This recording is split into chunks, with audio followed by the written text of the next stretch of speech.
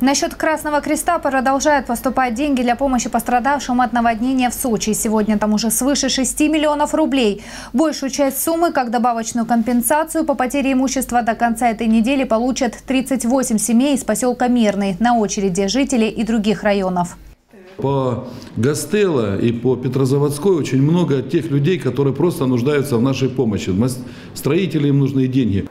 Чуть больше времени до 1 сентября есть у курорта на то, чтобы избавить улицы города от автохлама. С начала года уже вывезено около 400 брошенных машин, но после июньского наводнения их количество вновь увеличилось. В настоящее время ведется работа по 8 транспортным средствам, которые установили брошенные. Это в основном после стихии поврежденные, люди возле дворов стали бросать. Часть автомобилей собственники уберут сами, а вот у бесхозного транспорта лишь один путь – на металлобазу. Тем более, что парковки, занятые такими машинами, сейчас необходимы городу для более важных нужд.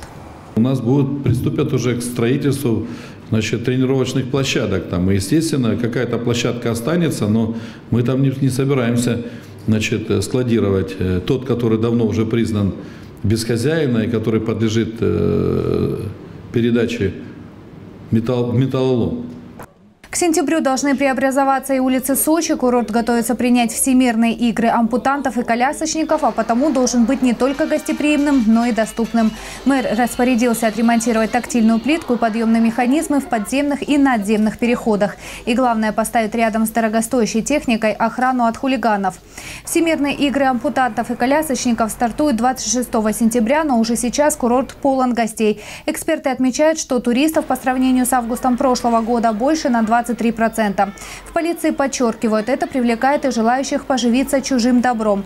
Любители мелких краж облюбовали в основном пляжи Лазаревского района. Их жертвами становятся те, кто оставляет свои вещи без присмотра.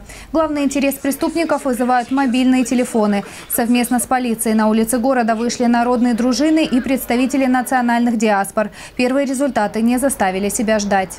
За период рейдов ежесуточно доставлялось в отдел полиции для проведения проверок свыше 50 человек.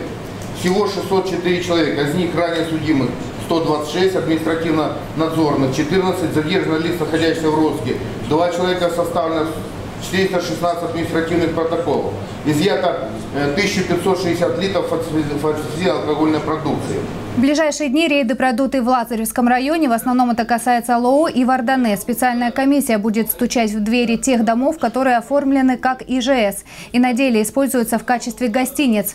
Хозяева таких зданий не спешат оформлять свой бизнес и платить в казну города налоги. Немало среди них и тех, кто до сих пор не решил вопрос с канализованием. Тем временем в течение 10 дней в Сочи обещают утвердить регламент о выдаче тех условий по подключению к локальным очистным сооружениям, чтобы упростить этот процесс.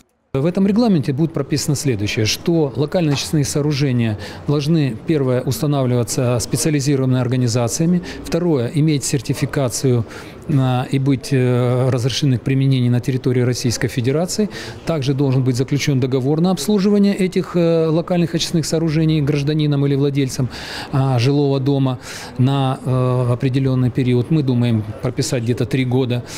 Пока из 13,5 тысяч обследованных домов в процессе подключения к ЛОСам около 4 тысяч. Ну а вывозить жидкие бытовые отходы смогут только 16 сертифицированных организаций, у которых заключены договоры с водоканалом и Курганинским групповым водопроводом. Татьяна Говоркова, телекомпания «ФКТ».